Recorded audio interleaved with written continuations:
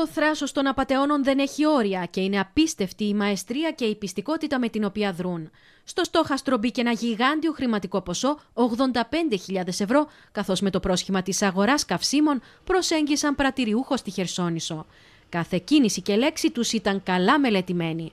Όπως ανέφερε μιλώντας στην Κρήτη τη 265χρονος πρατηριούχος, μου είπαν ότι θα βάλουν τα χρήματα στον τραπεζικό λογαριασμό. Μου έστειλαν ένα SMS στο κινητό μου με το έμβασμα και μπήκα μέσω της υπηρεσίας e-banking να ελέγξω. Μιλούσα ταυτόχρονα με την τράπεζά μου και θεωρώ ότι είτε άκουσε τα στοιχεία που έδινα, είτε από λάθος μου πληκτρολόγησα τα στοιχεία. Ε, τους στείλανε κάποιο link για να περάσει τους κωδικούς της τραπέζης ε, που συνεργάζεται και ε, έκανε το λάθος και πάτησε προφανώς ε, το link αυτό και έβαλε τον αριθμό που, τον κρυφό αριθμό που δεν έπρεπε να τον δώσει.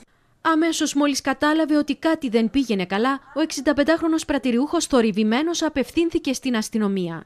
Όπως αποδείχθηκε, ήταν πιο έξυπνος από τους απαταιώνε αφού κατάφερε να γλιτώσει το άδειασμα του τραπεζικού του λογαριασμού. Όπως εξηγεί, Μιλούσα ταυτόχρονα με την τράπεζα και ζήτησα να μπλοκάρουν όλους τους λογαριασμούς. Όμως οι επιτίδιοι έχουν ήδη απλώσει τα πλοκάμια τους και δρούν απόλυτα συντονισμένα. Χτυπήματα έγιναν και σε άλλους πρατηριούχους της Κρήτης με το δέλεαρ μεγάλης παραγγελίας καυσίμων για κρουαζιερόπλιο. Όπως είπατε, και σε μένα με πήραν με μία πρόφαση ότι υπάρχει ένα κρουαζιερόπλιο ε, και θέλει 10 τόνους ε, καύσιμα και να δώσω το λογαριασμό μου και όλα αυτά. Αλλά επειδή είχαμε υποψιαστεί γιατί έχουν ξαναγίνει απάτες στα πρατήρια, δεν έδωσα στοιχεία, δεν ασχολήθηκα και μετά από λίγο πήραν άλλους συναδέλφους ε, τηλέφωνο. Οι επιχειρηματίες της Κρήτης έχουν χάσει τον ύπνο τους, καθώς μαζί με όλα τα προβλήματα που τους βαραίνουν, τώρα ζουν και με το φόβο μην πέσουν στην παγίδα όσων έχουν στήσει πλεκτάνες.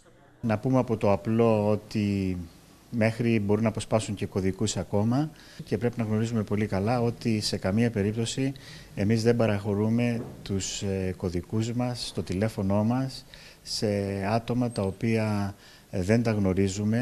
Την ίδια ώρα καλά ήταν τα νέα για την 58χρονη στην Κρήτη που εξαπατήθηκε από μαϊμού λογιστή.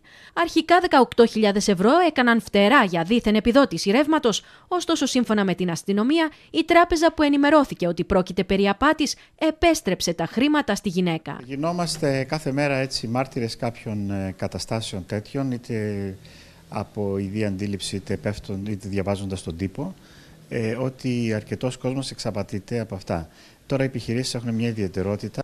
Φορείς και ειδικοί συστήνουν στους επιχειρηματίες να πάρουν τα μέτρα τους επικοινωνώντας με ειδικούς σε θέματα ασφαλείας, καθώς οι απαταιώνες χρησιμοποιούν την τελευταία λέξη της τεχνολογίας για υποκλοπές κωδικών και άλλους τρόπους, αδειάζοντας λογαριασμούς σε κλάσματα δευτερολέπτου.